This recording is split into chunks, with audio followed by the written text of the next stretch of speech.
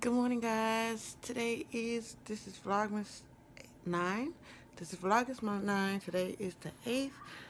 Uh, today I just gonna go grocery shopping with the kids and all this other stuff. I got it. I look fat. Oh my gosh. Why do I look so fat? Y'all know my my bed. I sleep crazy.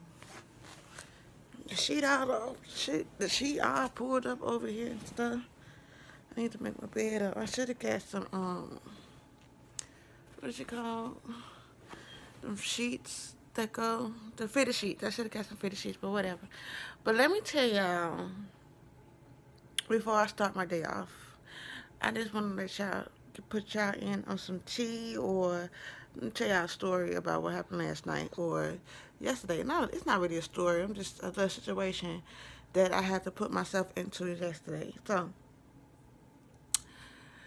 you know how you have neighbors, okay? And when you have neighbors, sometimes you can hear a lot of their business, okay? So the other night, not last night, but the other night, you know, I heard my neighbors, you know, making children. Cause I don't know if kids watch. I don't. I don't know if kids watch my uh, vlog. But no, matter of fact, it's not the vlog for children because it's gonna get real deeper than this. But anyway, so, you know, I heard them making love and whatever. And I'm like, okay, cool, you know. Get down how you get down. Get do what you got to do. I'm I'm not hating. You know what I'm saying? So I'm like, all right, whatever.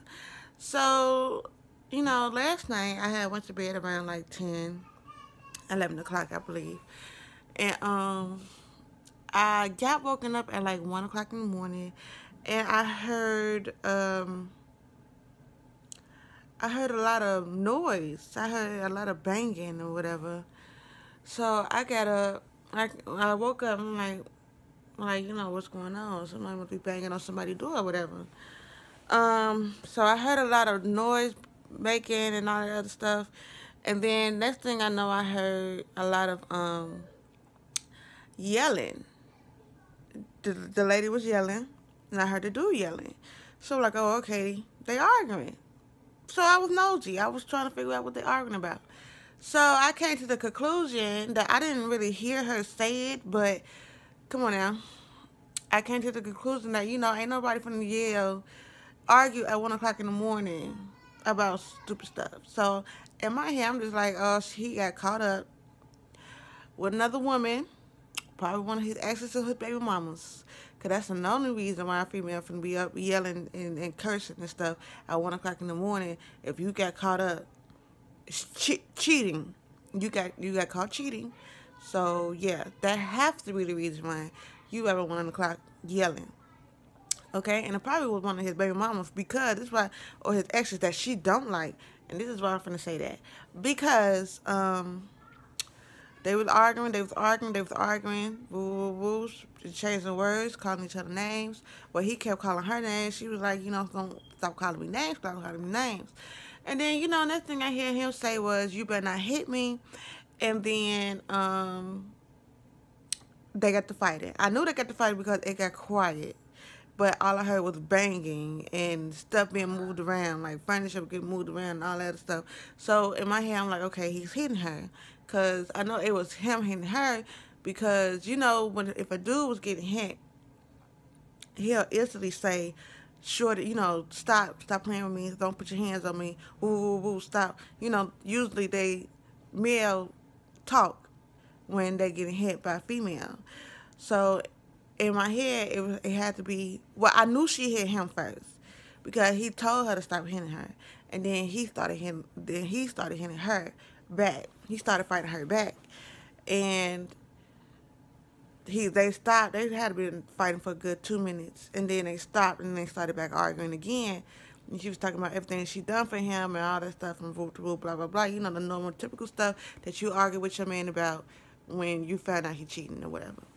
Now, uh, in my head, I'm just like, oh my God, you know, he's hitting her. Maybe I should just mind my business because Nine times out of ten, they're gonna be right back together. But still, that ain't none of my business. But so I'm just like, okay, I'm gonna just mind my business on this one or whatever. So I'm still up listening. I wasn't trying to listen at this point. I was really trying to go to sleep, whatever. Cause you know, whatever. People argue all the time. People fight all the time. You know, it's not. It's not. It's not cool. But I have been in my fair share of uh, domestic domestic violence. But that's a whole nother story for a whole nother day. So um, I'm laying there, and the next thing I hear was her saying, you know, stop, stop, stop, stop. I just kept hearing her stop, say stop. So that lets me know that he was still hitting her. So in my head, I'm just like, you know what? I'm just going to call the police on this one because I don't think it was going to end. I don't think it's going to end at all. So now, as a neighbor, you don't want to really put yourself in people's other people's business. But in my head, I'm just like, what if you know? What if he hit her too hard, or she had her head on the dresser, or what if he get mad enough he want to shoot her, strangle her? You know, I don't. I didn't want to be a situation where she ended up on the news and I could have prevented it. You know what I'm saying? So I I was really on the like, cause you know people must be telling you mind your business, leave it alone, mind your business, mind your business, mind your business tonight, mind your business, and then it's just some situation that you just cannot mind your business because you don't want something. Cause if it was me, I would want somebody to call the police. If they hear me getting hurt or beat up or screaming and tell somebody to stop, call the police because obviously I don't want this to be happening right now because I don't want to lose my life. I got kids, okay? I have children. I don't know if she has children. I really don't know my neighbors like that. I don't talk to nobody around um, my neighborhood or in my apartments complex. I just stay to myself. So, I, and I really don't even know what they look like. I just heard them. So, you know, so I'm just fighting like, should I call the police or should I not call the police? Go in the living room. Go in the living room. All right, go in the living room.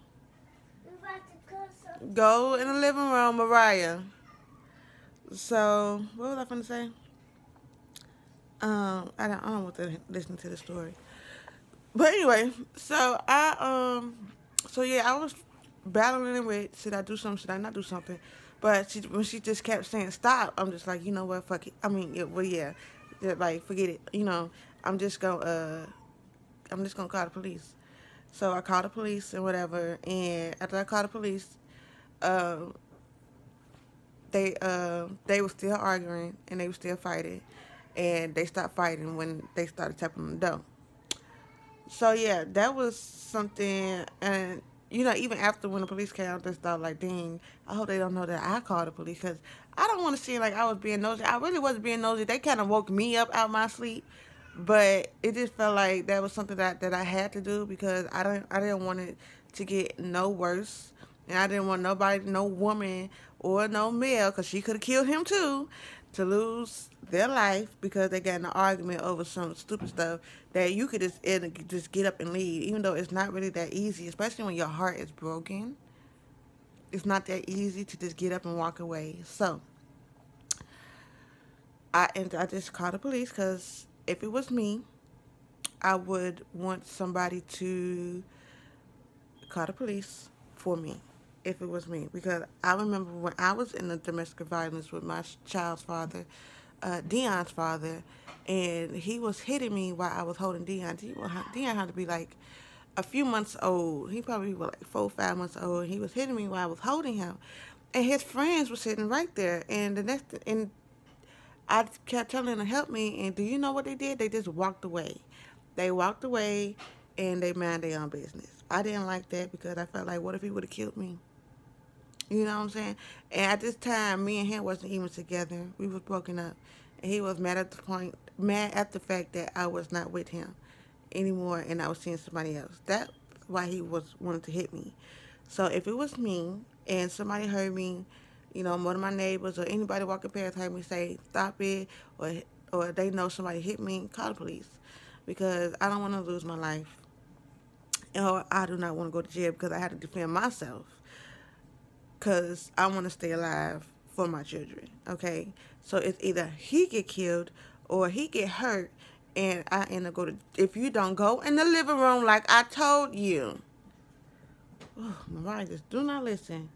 So yeah, that's my point in. And yes, I have been in domestic violence mostly with Deon's father. Uh, it happened times when I put my hands on my child, my other kid's father, um, my three youngest father.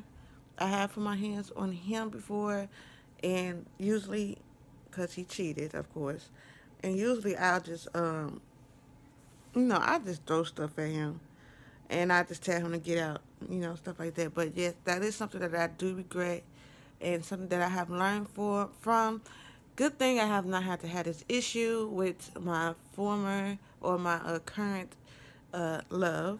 So, yeah, I think I learned from that, but that's something I do not want to have to go through anymore. And I feel like I will not have to go through that anymore, especially with him. We, even though our our relationship in the beginning was uh, rocky, but um, it was rocky. So in the beginning because you know he wanted to be a player and whatever but uh